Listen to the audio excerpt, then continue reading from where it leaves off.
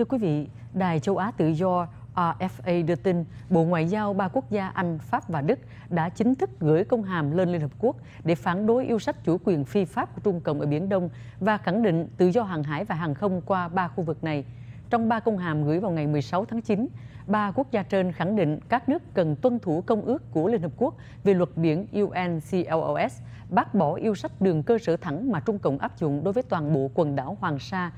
anh, Pháp và Đức cũng nhấn mạnh các đòi hỏi về chủ quyền của Bắc Kinh liên quan đến quyền lịch sử ở Biển Đông là không đúng với luật quốc tế và các điều khoản của UNCLOS, đồng thời khẳng định điều này trong phán quyết của Tòa trọng tài quốc tế đưa ra hồi năm 2016, bác bỏ tính hợp lệ của đường đích khúc chính đoạn trên Biển Đông mà Trung Cộng tự vẽ ra.